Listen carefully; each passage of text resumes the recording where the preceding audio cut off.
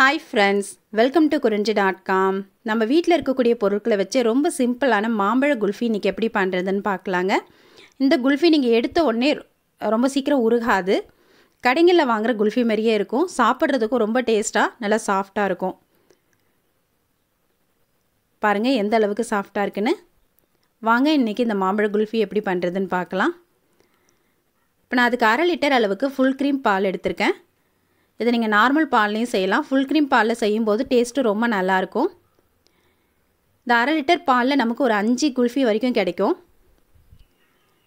இந்த பால் நல்லா காஞ்சிட்ருக்க டைமில் ஒரு கால் டம்ளர் அளவுக்கு பால் எடுத்து ஒரு டேபிள் ஸ்பூன் கோதுமை மாவை விட்டு கட்டி இல்லாமல் கலந்து எடுத்துக்கலாம். இந்த கோதுமை மாவுக்கு பதிலாக நீங்கள் மைதா மாவோ கார்ன்ஃப்ளவர் மாவோ அரிசி மாவோ கூட சேர்த்துக்கலாம். இப்போ ஒரு மாம்பழத்தை பொடி பொடியாக கட் பண்ணி எடுத்துருக்கேன். அதை ஒரு மிக்சி ஜாரில் சேர்த்துட்டு நல்லா விழுதாக அரைச்சி எடுத்துக்குங்க.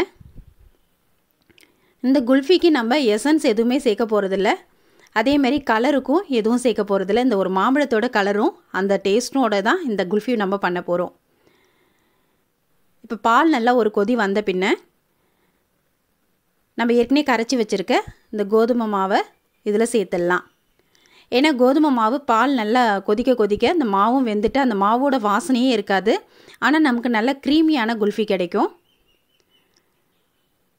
நம்ம ஃப்ரெஷ் க்ரீம்லாம் சேர்த்து இந்த குல்ஃபி பண்ணால் எந்த அளவுக்கு டேஸ்ட் இருக்குமோ அதே மாதிரி இருக்குங்க. கண்டிப்பாக நீங்கள் எல்லாருமே இந்த குல்ஃபியை ட்ரை பண்ணி பாருங்கள் ஒரு மாம்பழம் இருந்தால் போதும். நம்ம வீட்டில் இருக்கக்கூடிய பால் சர்க்கரை ஒரு டேபிள் ஸ்பூன் கோதுமை மாவு சேர்த்து நல்ல க்ரீமியான குல்ஃபியை நம்ம செஞ்சு கொடுத்துடலாம்.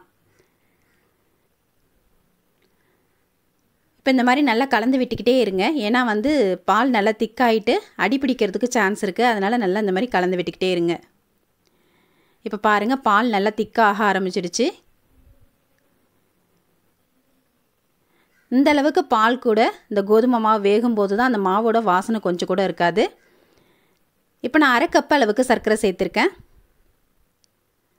அரை லிட்டர் பால் ஃபுல் க்ரீம் பாலும் ஒரு மாம்பழமும் எடுத்திருந்து அரை கப் அளவுக்கு சர்க்கரை சேர்க்கும்போது நம்மளோட குல்ஃபிக்கு இனிப்பு கரெக்டாக இருக்கும்.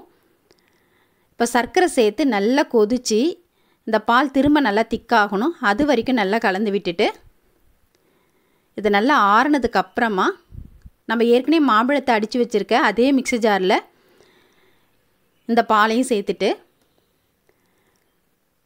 எப்பயும் நம்ம ஐஸ்கிரீமுக்கு அடிக்கிற மாதிரி ஒரு பதினஞ்சுலேருந்து இருபது செகண்ட் வரைக்கும் நல்லா அடித்து எடுத்துக்கலாம். நல்லா நுரைச்சி வரும். அது வரைக்கும் நல்லா அடித்து எடுத்துக்கலாம். இப்போ பாருங்கள் இந்த மாம்பழமும் இந்த பாலும் ரெண்டும் ஒன்றும் மிக்ஸ் ஆகிட்டு நல்ல க்ரீமியான பதத்துக்கு வந்திருக்கு பாருங்கள் இந்த கோதுமை மாவு சேர்க்காமல் நம்ம குல்ஃபி பண்ணோம்னா நம்ம வெளியே எடுத்த உடனே குல்ஃபி உருகிடும். நீங்கள் இந்த கோதுமை மாவு சேர்த்து செய்யும்போது நம்ம குல்ஃபிக்கு கொஞ்சம் திக்னஸ் கிடைக்கிறதுனால இது வெளியே எடுத்தோடனே உருகாமல் நம்ம கடைங்களில் சாப்பிட்ற குல்ஃபி மாதிரியே நல்லா க்ரீமியாக இருக்கும்.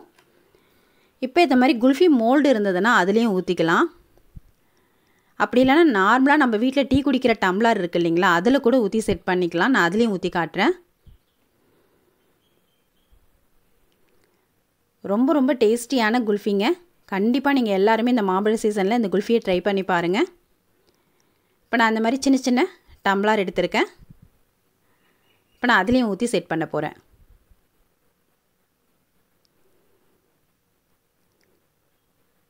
இப்போ இந்த மாதிரி எல்லாத்துலேயும் ஊற்றிட்டு இதில் நம்ம குச்சி சொருவுறதுனால அந்த ஐஸ் ஸ்டிக்கு சொருகணுன்றதுக்காக இந்த மாதிரி சில்வர் ஃபாயில் ஷீட் போட்டிருக்கேன். இதுக்கு பதிலாக நீங்கள் பட்டர் பேப்பர் இருந்தால் அது போடலாம். அப்படி இல்லைனா பிளாஸ்டிக் கவர் கூட கட் பண்ணி போட்டு லப்பர் போட்டுக்கலாம். இல்லை அப்படியே கூட வைக்கலாம். மேலே லைட்டாக வந்து அந்த ஐஸு படியும் அவ்வளோதான்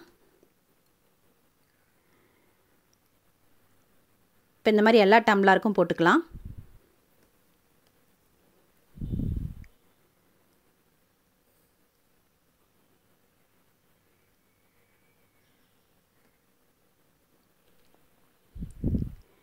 இப்போ அந்த ஸ்டிக்கு கரெக்டாக சொருவுறதுக்காக நடுவில் கொஞ்சமாக கட் பண்ணி விட்டுட்டு அதில் நம்ம இந்த ஐஸ்கிரீம் ஸ்டிக்கை சொருவிடலாம்.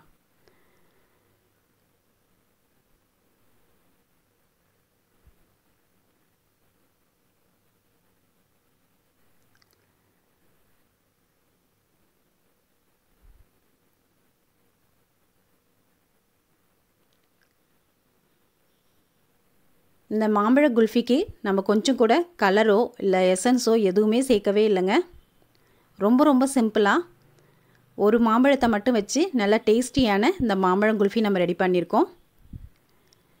இப்போ இந்த மாதிரி ரெடி பண்ணிவிட்டு இதை ஃப்ரீசரில் எட்டு மணி நேரம் செட் பண்ண விட்டுடுங்க. அப்படி இல்லைன்னா நீங்கள் நைட்டு பண்ணிவிட்டு மறுநாள் கூட எடுத்து சாப்பிட்லாம். இப்போ பாருங்கள் இது நல்லா கட்டியாயிடுச்சு.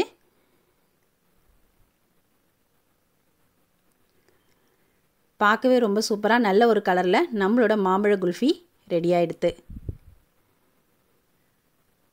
இப்போ நம்ம இதில் எடுத்துடலாம்.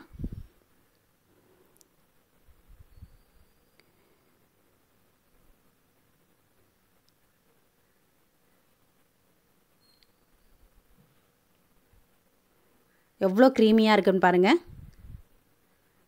அந்த ஒரு டேபிள் ஸ்பூன் அளவுக்கு கோதுமை மாவு சேர்த்து இந்த மாதிரி நீங்கள் குல்ஃபி பண்ணி பாருங்கள் ரொம்பவே டேஸ்ட்டாக இருக்கும். கொஞ்சம் கூட அந்த மாவோட வாசனை வரவே வராது. இப்போ இதேமாரியே நம்ம எல்லா டம்ளர்லேருந்தும் எடுத்துடலாம்.